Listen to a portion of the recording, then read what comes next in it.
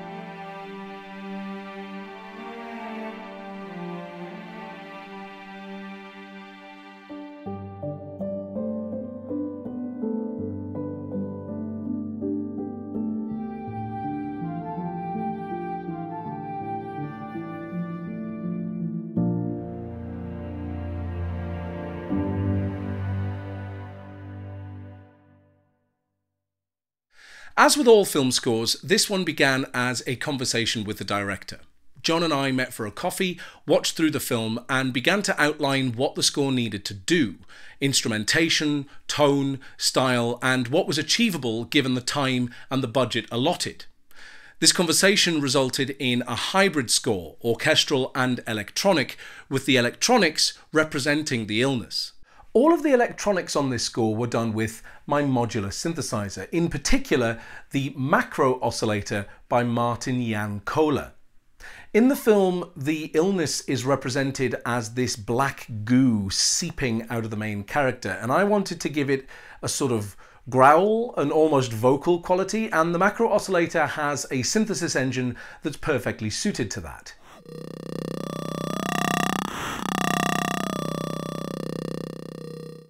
And with a little filtering to bring it in and out, it bleeds into the music like the goo bleeds onto the screen.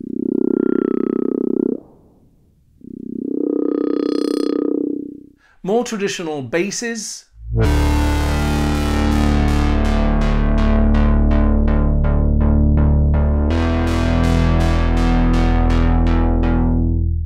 Sequences.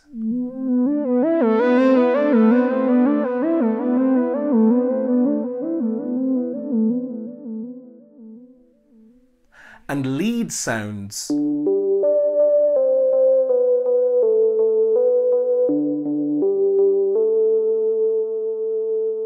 round out the electronic portion of this score. During my conversation with the director, the word that was thrown around the most was pastoral. Uh, a chunk of this film takes place in a park, and with images like these, it's not hard to see how that word can apply. Now, when I hear the word pastoral, I immediately think of Vaughan Williams. Uh, if you're not up on classical music, Ralph Vaughan Williams was a composer of symphonies, operas, ballets, and even film scores, active in the early 20th century. Uh, his fifth is my favourite symphony, so much of the orchestral part of this score is inspired by that, uh, especially this little motif.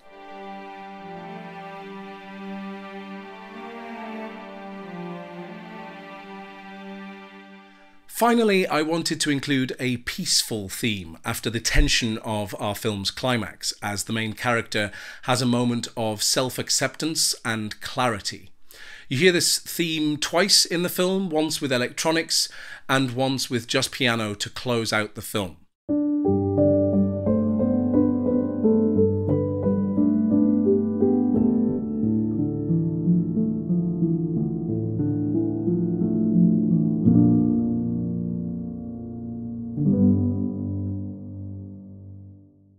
Throw in some Lord of the Ringsian arrangement to match Billy Boyd's narration, and we have our film score.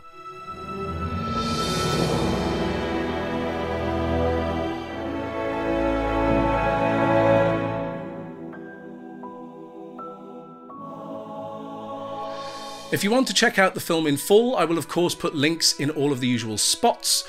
If you've enjoyed this video, please let me know by leaving a like, a comment, and considering subscribing to the channel. If you're looking for a score for your own project, you can reach me via social media or via email. All will be listed in the description.